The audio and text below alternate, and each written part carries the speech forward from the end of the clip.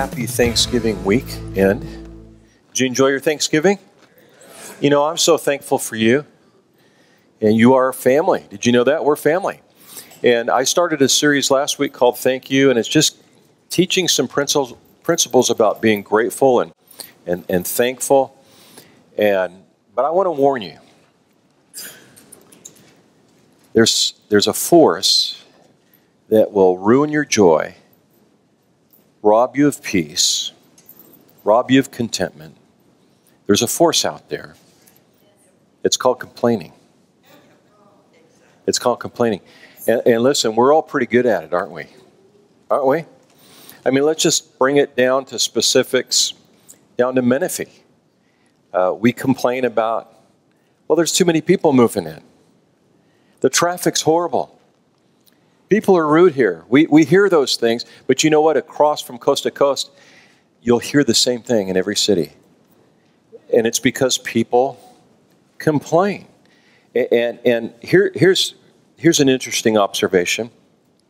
There are times when we're going through difficulties, tough times, that it, it seems reasonable to complain.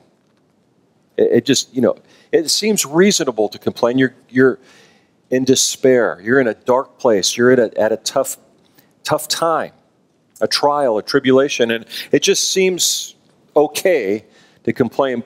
But the problem with that is it can lead to a life of bitterness and a life of resentment. Being thankful during tough times doesn't mean that you and I are a glutton for punishment. Being thankful during tough times doesn't mean that uh, we're to be thankful for evil. No.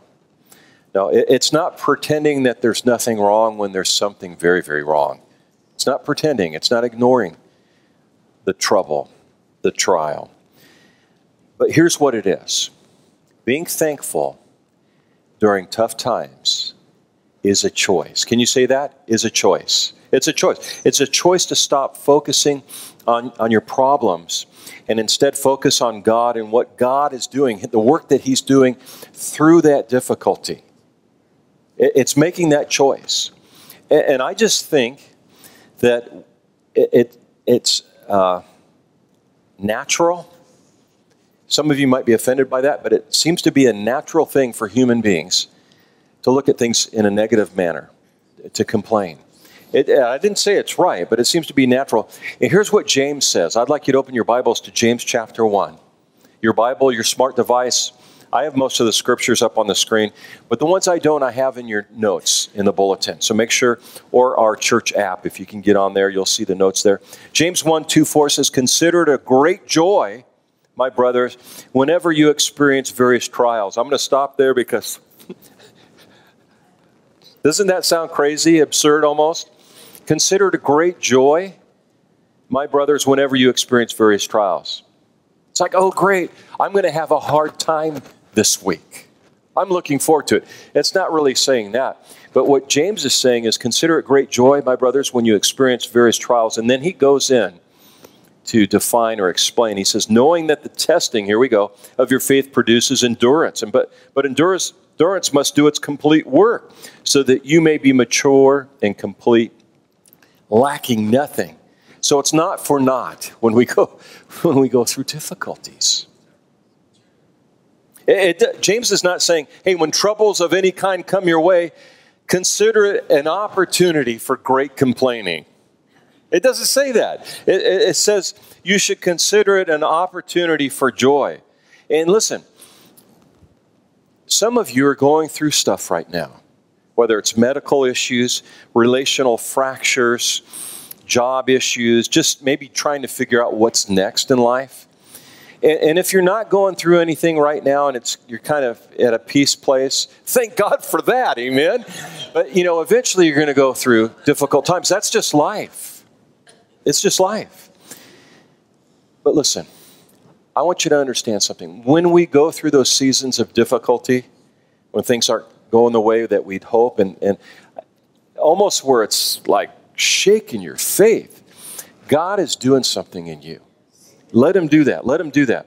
Now, do, do you have certain movies that you like to watch during different times of, of the season that you kind of go to? It's like a default.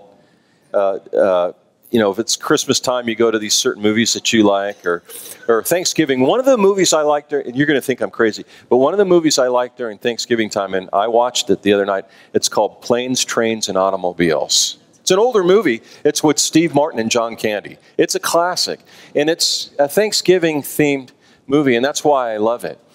And there's a clip in that movie where John Candy and Steve Martin, they, they've gone through all this trouble. Their car's caught on fire. I mean, they're just one bad thing after another. They're trying to get home. John Candy's trying to get Steve Martin home so he can have a Thanksgiving with his family. And there's all kinds of dynamics going on, but they're at a point where they're in this car, it's caught on fire, it barely runs. And I want you to watch this video, and then I'm going to ask you a question. Oh. Great, great. Pop, watch it! How fast are you going? I can't tell. The speedometer's melted. Pull over. Top of the morning, officer. Hi. Is there something I can help you with? In here.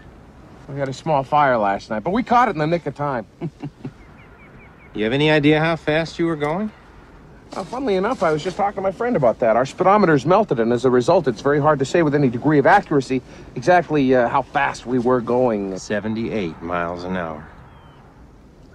78, huh? Well, yeah, I could buy that, sure, I guess. Uh, you know, uh, you would know better than us, uh, especially since we got a melted speedometer. Do you feel this vehicle is safe for highway travel? Yes, I do.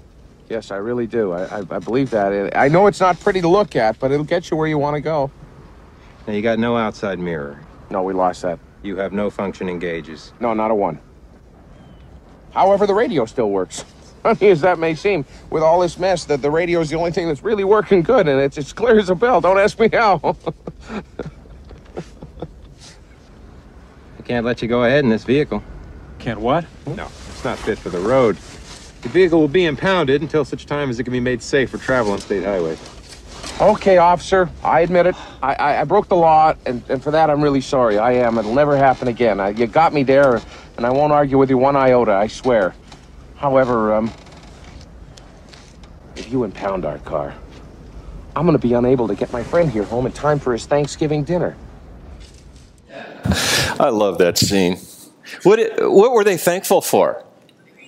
The radio. hey, the radio works and it works great. It's crystal clear. I love that scene because there's so much to complain about there. The car barely moves, it's burned up. None of the gauge works. None of the gauges work, but the radio works. A great example uh, that, you know, I, I believe God blesses us when we focus on the good things. And listen, there are always good things in our situation. Now, how can you give thanks during tough times? And you see it on the screen. I can give thanks because God is in control. God is in control. What happens when you're in control? It doesn't go too good, does it? But God's in control no matter what you're facing in life. God is in control. The God of the heavens, the, the, the creator of the universe, the Lord of heaven and earth, He's in control of everything and He deeply loves you and I. That's good news. Here's what King David said in Psalm 103 19. It says, The Lord has made the heavens his throne, and from there he rules over what? Everything. He rules over everything. And even when we don't fully understand how, how the things are going in our life, and it it seems like they're upside down at times, it's difficult to grasp that God's in control. But God is in control of everything. Now, hear me out on this. That doesn't mean that God causes everything. He's in control of everything, but He doesn't cause everything. God certainly doesn't cause anything evil. Listen to me. If you or someone you love uh, gets cancer, or you lose your job, or your spouse leaves you, uh, walks out on you, that doesn't mean that God caused that. Uh, those things happen in this world because we live in a fallen world. It's, listen, it's because of my sin. It's because of your sin. Those things happen. But in the midst of that, God is there. He's in control. And even though we go through tough times, uh, God can still bring something good out of that. Did you hear that? God can turn problems into possibilities. He can turn troubles into triumphs.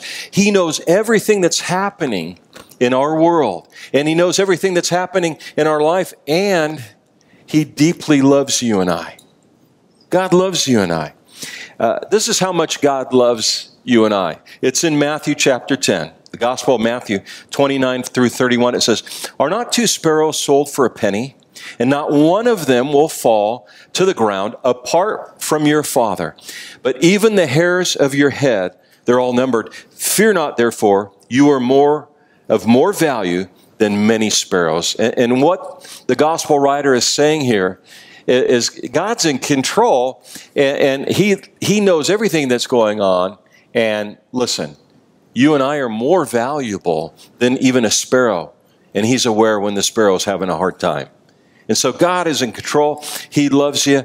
And, I just love that. And so I want to give you some things to be thankful for. You're, we can be thankful that God's in control. And number two, I can give thanks because God's promises, they're always true. God's promises they're always true. They're always true. God never breaks his word. People, on the other hand, they lie, they break their word. But God never does. In Numbers, it's in the Old Testament, it's in your notes. Numbers chapter 23, verse 19. It says that God is not a man, so he does not lie. He's not human, so he does not change his mind. Has he ever spoken and failed to act? Has he ever promised and not carried it through? Listen, if you don't feel like you have anything else to be thankful for during this time, you can be thankful that God is true. His, his word is true. His promises are true. And you might be sitting here this, this morning and thinking, well, okay, I buy that, but how do I know his promises? I, I'm glad you asked. I'm glad you asked. Because God's promises are plentiful and they're found in God's Word, the Bible. And we've got a Bible from cover to cover. You've got 60 bo- uh, 66 books. You've got an Old Testament, a New Testament, and, and some scholars say there's 7,000 plus seven to 8,000 uh, promises, depending on how you define what a promise is. That is a lot of promises. But the only way that you and I are going to be aware of God's promises is by examining the Word of God. The Word of God is powerful sharper than any two edged sword. We've got to get into God's Word and to understand that uh, not only is He in control, but His promises are, are true. And God always keeps His promises. He'll never let you down. People will let you down. And, and sometimes you'll, ask, you'll come across someone who doesn't go to church anymore. And, and they'll have a story why? And a lot of times it's because, well, the pastor let them down, or someone in church let them down, another Christian let them down, and so they don't want to have anything to do with organized religion. And, and I don't know that organized religion is all that good, but we don't always represent God very well, and we make mistakes, we're sinners, but God stands on his own. And that doesn't diminish the fact that the church, the body of Christ, is a beautiful beautiful thing because it's the body of Christ. It's not a building, it's not a pastor, it's not leaders in the church, it's not people that call themselves uh, members. The body of Christ are followers of Jesus and they're imperfect people. They make mistakes, but God stands on his own. He's perfect. He doesn't lie. His promises are true. When God says, uh, he loves you. He means it. When He says He's with you, He's with you. When you're going through a trial, in a difficult time and you feel alone and isolated, God is right there. He loves you.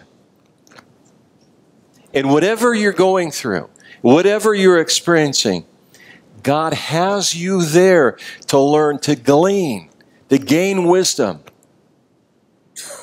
And it becomes uh, a great, great almanac of information to help others once you go through it. Here's the key when you're in trouble, when your back's against the wall, when you're going through difficulties, the key is to get through it, right?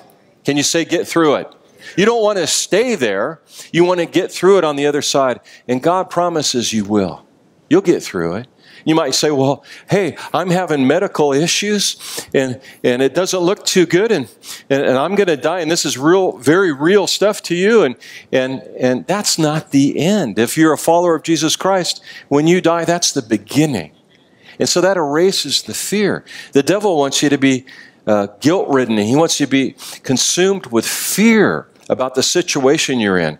But God's given you victory we can be thankful that God's in control. We can be thankful that, that for so many things uh, uh, uh, about God, that His promises are true.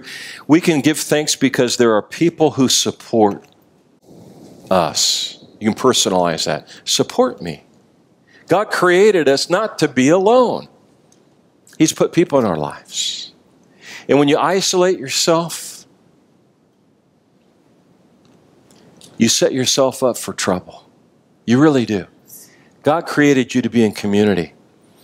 Uh, and listen, there are people in your life, and there have been people in your life that you can trust. Think about those who have encouraged you to come to Christ, those who have encouraged you, your Bible study leaders and teachers. I want you to just think about this for a moment that it's such a selfless act to prepare to teach others to, to even open your home up and host a Bible study. That's a selfless act. You are investing in other people. I want you to think about those who invest in you, those who have helped you, maybe when in a time where you've been in trouble and you just felt lonely and, and, and, hurt, you hurt, you were in pain and you were emotionally just disjointed and, and you just felt like you couldn't even breathe anymore. And then there was that individual or people that encouraged you. I want you to think about them. And I want you to do something if you would. Could you just close your eyes? I'm not going to have you do anything weird, but just close your eyes for a moment. Think about those individuals that you can count on. And it might be one person, it may be a handful, but think about them that have invested in you, that have encouraged you, that have said, hey, get up, you can do it, keep moving forward. And just in the quietness of your heart, I want you to do this. I want you to say, God, I thank you for so and so for helping me when I was hurting. God, I, I thank you for them. Okay, you can look up at me. I want you to do one more thing this week. Just reach out to him. Maybe it's a note, maybe it's a text, an email, however you do it, it's okay. But just say, hey, I thank God for you. It makes sense. It's Thanksgiving season, right? We're leading into Christmas. It's a time of giving. Just give them some encouragement and say, hey, I thank you for investing in me. I just thank you for being my friend. Look what it says in Ecclesiastes chapter 4. This is in the Old Testament, verses 9 and 10. Two people are better off than one, for they can help each other succeed. If one person falls, the other can reach out and help. But someone who falls alone is in real trouble. Isn't that true? I've been there, you've been there. It just works better when you've got folks around you and listen, if you're waiting for perfect, perfect people to be around you, you're going to be waiting a long time. But you got Jesus, He's perfect. And you've got others like you that are imperfect. You just love, you overlook the flaws and the faults, and, and you love and you help each other. We can thank God for people in our life. We can thank God for His Word. His promises are true. We can thank God and thank God, really, because He's in control. And we're not. And finally, I can give thanks because Jesus understands my trouble. This is huge. In the years I've been blessed to be involved in ministry, and the times I've sat with people who have sought some counseling, and typically somebody that wants to uh, just hear from you and get counseling, they're looking for direction. They're looking for some answers. And sometimes they're just looking to just get stuff off their chest. And that's all good. That's all okay. But one of the things I've found in this is that they feel lonely. They feel like they're the only one going through it. They, and there's that sense that nobody really understands what they're going through. And, and I think we've all been there. I, I've been there where I feel like, man, I don't think anybody gets me or understands when you're going through some difficult times. And if you stay there too long, I think it's dangerous. So God has, has put people in our lives, and, and uh, but more importantly, we have Jesus that we can lean on, and He understands our issues, troubles, and trials. And, and, and listen, that's exactly what Christmas is all about. Christmas is in just a few short weeks.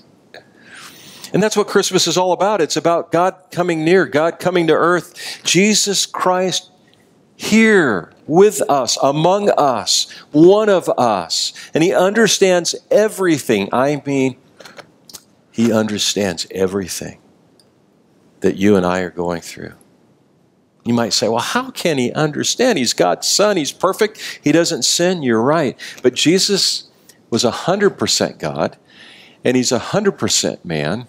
Think about that. He wasn't 50% God and 50% man.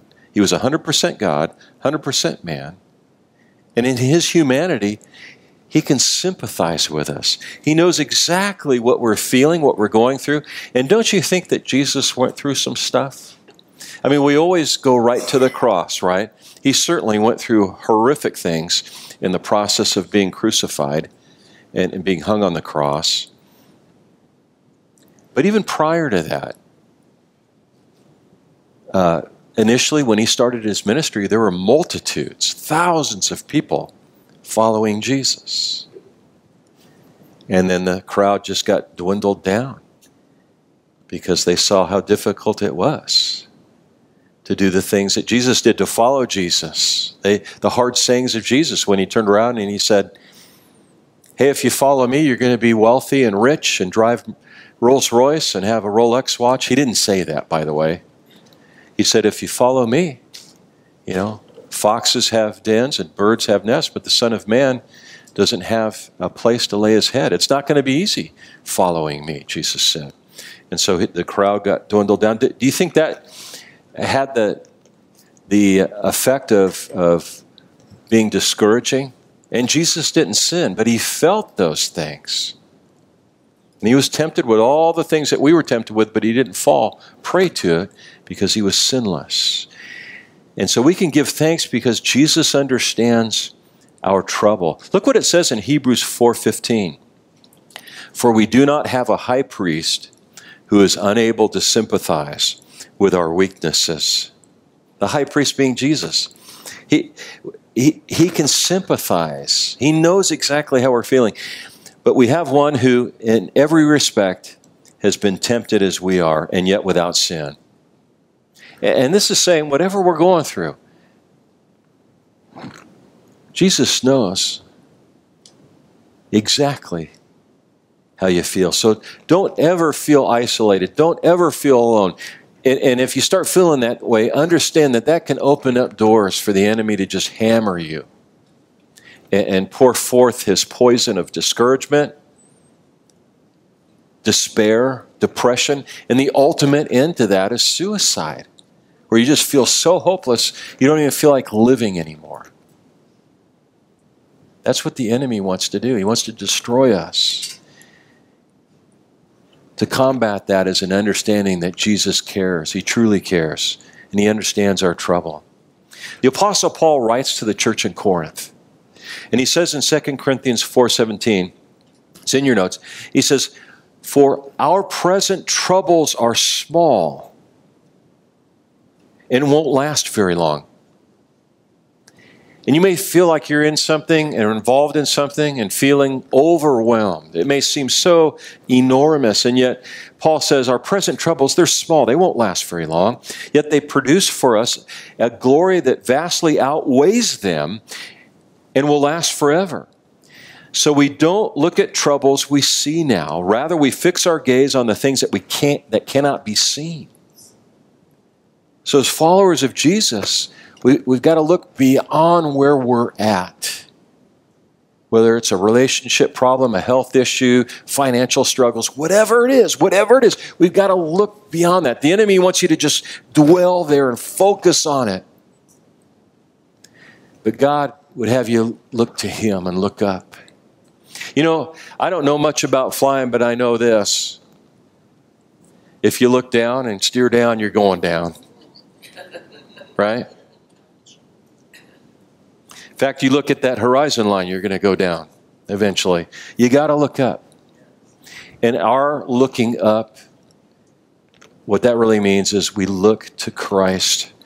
He is our answer. For things we see now will soon be gone, Paul says in 2 Corinthians 4 17. But the things, 4 18, but the things we cannot see will last forever. That's heavenly things.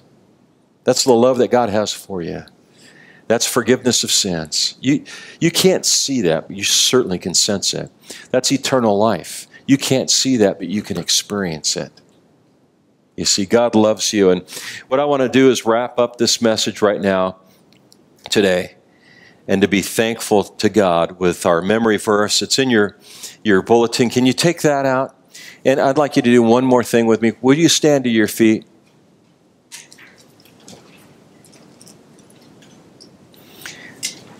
Now, I want to go back to the beginning of the message. We're good at complaining. It's easy to complain, it's easy to zero in on the negative about anything and everything. And I don't think that that's where God wants you and I to be. And so we have a verse here. Again, it's the Apostle Paul encouraging the church in Corinth and encouraging us. And it's 1 Corinthians 15 57. And I'd like us to read this out loud because it's a powerful verse. Let's begin. But thanks be to God who gives us the victory through our Lord Jesus Christ. Let's do that again. But thanks be to God who gives us the victory through our Lord Jesus Christ. We can thank the Lord. Now, listen, you apply this verse right now with whatever you're going through wherever you're at. You apply this verse in the future because if you're not going through a difficulty now, you will be. And I'm not trying to speak anything negative over, over you. That's just life. We go through life and we go through tough times, and we can thank God who gives us the victory through our Lord Jesus Christ. Let me pray for you. Father, I thank you and I praise you for your, your word that it, it, challenges us, it encourages us. And God, I know there are people here who are struggling. They're struggling, but they're here, and that's a great sign. And so, Holy Spirit, I pray that you would help us change the way we think, how we perceive, and even how we communicate. That we would look at the good things and give you thanks and know that we have victory through Jesus Christ.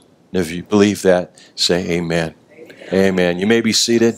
Listen, there may be somebody here this, this uh, day, today, that uh, doesn't know the Lord. And what I mean by that is, I'm always hesitant to say it like this, but I want to just say if you're not certain that you'd go to heaven if you were to die today, if you're not absolutely certain about that, did you know that you can be certain about your eternal destination?